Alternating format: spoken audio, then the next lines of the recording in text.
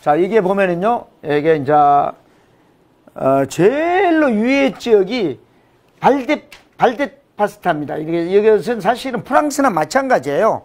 그래서 상당히 프랑스의 포도 품종, 까베네 쇼비뇽이나 어, 프랑스 포도 품종을 쓰고요. 이쪽이 바로, 아, 피에몬테입니다. 이제 피에몬테. 예, 피에몬테 옆에 이 룸, 여기는 저기 피에몬테고 이 롬바르디아가 있습니다. 롬바르디아.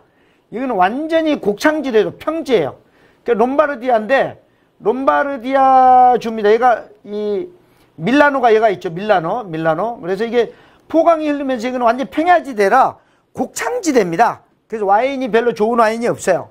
예. 그 다음에 이쪽 위에가 아, 요 밑, 롬바르디아 밑에 이 주중회하고 해서 이게 지금 유명한 지역이 있습니다. 이쪽이 바로 어, 예, 있고 바로 여기에 니구리아 예, 이렇게까지 있죠.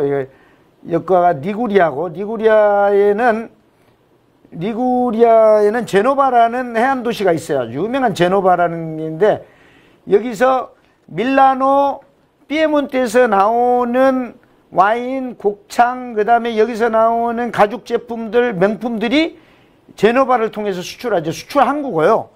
이 중간에 굉장히 유명한 지역이 있습니다. 이쪽 지역이 외고 있어야 돼. 에밀리아. 외고 있어야 돼. 에밀리아 로마냐라는 지역입니다. 로마냐. 예, 에미, 에밀리아 로마냐라는 지역인데요. 이쪽 지역이 이 최고의 이 이태리의 문화를 만든 지역입니다. 그래서 여기에 에밀리아 로마냐라는 이 지역에 수도가 유명한 볼로나예요. 볼로나. 볼로나 알죠? 볼로나. 그 다음에 이 위에 모데나가 있어요. 모데나. 예. 그 다음에 파르마라는 게 있어. 파르마. 이 3대 도시. 그 다음에 요 밑에 산마리노라는 또 이 산마리노는 하나의 국가입니다. 산마리노는 또 교황청 같은 이런 국가가 또 있어요. 이게 바로 에밀리아 노마나 지역이 있는데요. 이쪽 지역이 왜 유명하냐면요. 아, 이쪽에 유명한 포도 품종이 뭐냐면요. 잘 포도 품종에 람, 람부르 스코라는 레드와인이 있습니다. 근데 볼로나 지역에서 세계적으로 최고 유명한 스포츠카 이름이 뭐죠? 예, 예. 람보르기니가 있죠. 람보르기니. 람보르기니를 만드는 본사 공장이 볼로나에 있고요. 그 다음에 이게 또 저기 어 프랑스에서 최고 유명 프랑스에서 최고 유명한 그 미식 도시가 있어요. 미식 도시. 미식 도시라는 게 있죠. 프랑스의 최고의 미식 도시가 리옹입니다. 리옹. 그러니까 리옹 밑에 그 어, 미쉐린, 미셸린 그 도시가 있거든요. 바로. 그래서 거기서 창조해 리옹이 프랑스 제일로 미식 도시라면은 이태리에 이태리의 최고의 미식 도시가 바로 이 볼로나입니다. 볼로나. 볼로나가 유명한 데서 볼로나 공항도요. 엄청 큽니다. 볼로나 공항도. 그래서 어, 유명하고 또 이 볼로나 위에 모데나라고 있죠. 오늘 그 예, 모데나의 유명한 테너 가수가 있습니다. 이 테너 가수가 이제 2000, 어, 2007년에 돌아가셨죠. 파파로티. 파파로티가 68살에 35살 먹은 비사하고 결혼을 했죠. 그래가지고 딸을 낳다가 유명하게 됐잖아요. 예. 3대 테너가 있습니다. 파파로티, 플라시도 도밍고, 호세 카레라스. 예. 그 중에서 최고의 성악 파파로티.